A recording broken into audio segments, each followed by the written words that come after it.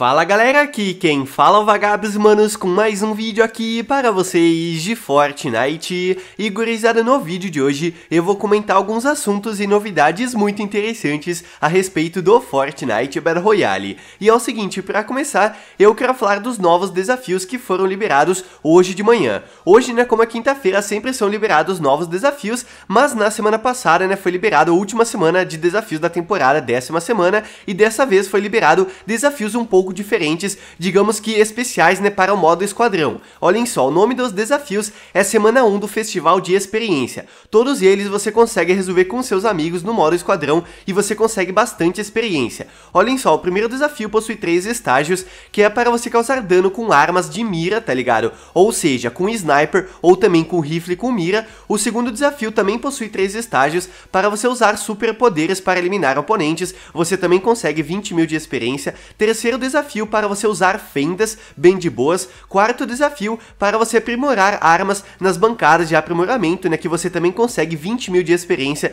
e também possui três estágios. E o último desafio que você consegue 50 mil de experiência, que não possui três estágios, mas que é um pouco mais complicado que os outros, é para você visitar todos os pontos denominados do mapa em uma única partida. No total tem 17 locais nomeados no mapa, mas lembrando que, né, como você consegue fazer com seus amigos, é bom você cair num canto do mapa, o seu amigo em outro canto, e em quatro cantos diferentes, assim todo mundo consegue visitar, né? Quatro locais aí nomeados diferentes para completar o desafio, né? Aí na mesma partida, ok? Então tá aí, né? Novos desafios que foram liberados hoje de manhã para você fazer com seus amigos e conseguir bastante experiência na sua conta, né? Upar um pouco mais o nível antes do finalzinho dessa temporada. E manos, olhem só, agora eu quero falar sobre a loja de itens. Ontem à noite apareceu na loja, como já tinha comentado com vocês, a picareta retrô, a picareta padrão do primeiro capítulo completamente de graça, tá? Ela custa zero reais, então é só você comprar na loja que você consegue essa picareta na conta. E também apareceu, né, outros itens padrões aí do primeiro capítulo, só que você tem que pagar eles. Olhem só, a Delta original é da raridade incomum, custa 500 bucks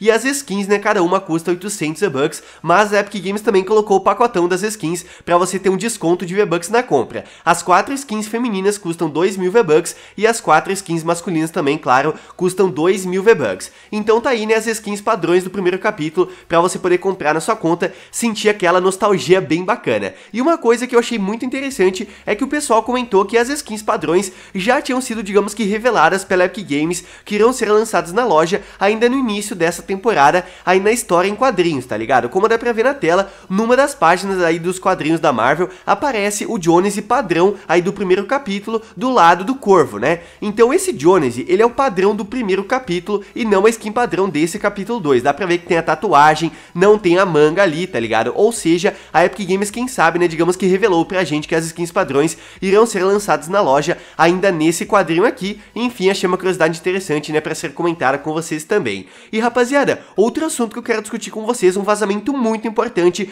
é sobre uma nova moeda, quem sabe, que pode ser lançada em breve no Fortnite. Olhem só o que o Licker Hyperx comentou no seu Twitter. Um novo item barra moeda chamado Wedge, acho que é assim que se fala, foi adicionado nos arquivos do jogo ao loot pool do game, ou seja, vai ser um item que a gente vai encontrar na partida e carregar na mochila. Está planejado para aparecer em esconderijos e também dentro dos cofres. E olhem só, de acordo com ele, a gente vai encontrar essa moeda de quatro maneiras diferentes. Um pequeno estoque, né, que a gente encontra 25 aí de quantidade, o estoque médio 100, um grande estoque 250 e o máximo que a gente pode encontrar dessa moeda, né, de uma vez só na partida é 500. Então, tipo assim, não temos muitas informações a respeito desse novo item barra moeda que vai ser lançado no futuro do jogo, mas com certeza é um vazamento muito interessante. Já tem o um pessoal teorizando que esse item vai funcionar como um dinheiro dentro do jogo para a gente poder comprar, né, munição, itens, aprimorar armas e tudo mais. Bom, todo mundo deve saber, né, que em outros jogos tem essa função, né, de você comprar armas durante partida, comprar itens, que tem esse esquema do dinheiro, tá ligado?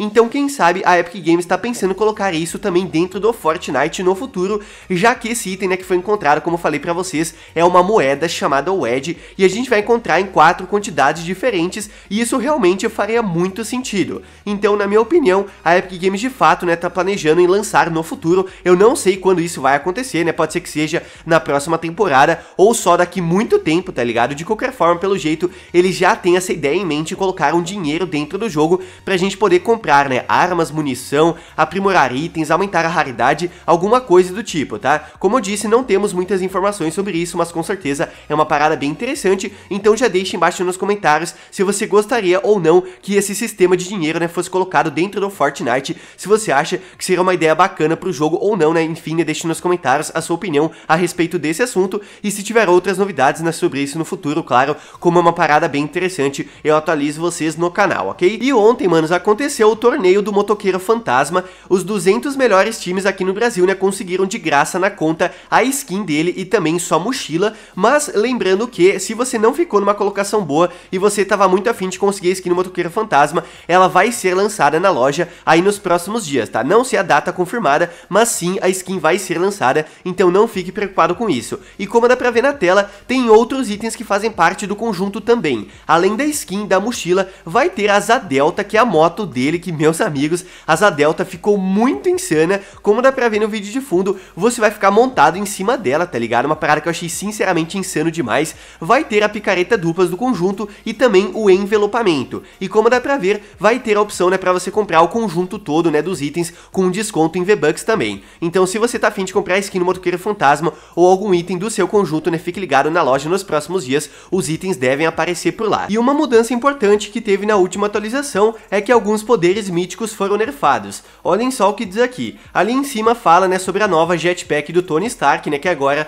você pode encontrar nas partidas, é da raridade épica, você encontra nas indústrias Stark, no loot do chão, e ela tem mais combustível e impulso do que as antigas jetpacks. E logo embaixo então, né, fala aí do nerf de poderes míticos. Olhem só, garras do Wolverine, ataque de dano maior diminuído de 65 para 45 e ataque de dano menor diminuído de 25 para 10. O poder do Thor, o dano diminuiu de 80 para 60 e os canhões repulsores do Homem de Ferro agora precisam estar mais perto para você travar em um alvo. Então esses três poderes míticos na última atualização foram nerfados, uma parada bem importante, né, que eu tinha que comentar com vocês aqui no canal também, né? Mas então é isso, galera, espero que vocês tenham gostado aqui do vídeo, deixem embaixo nos comentários a sua opinião sobre os assuntos que eu falei aqui, o que você acha da possibilidade da Epic Games colocar no futuro um esquema de dinheiro dentro do jogo, né, como se tivesse uma loja dentro do mapa, pra gente poder, né, comprar certos itens, armas, upar a raridade dos itens da mochila, alguma coisa do tipo, por enquanto não temos muitas informações sobre isso,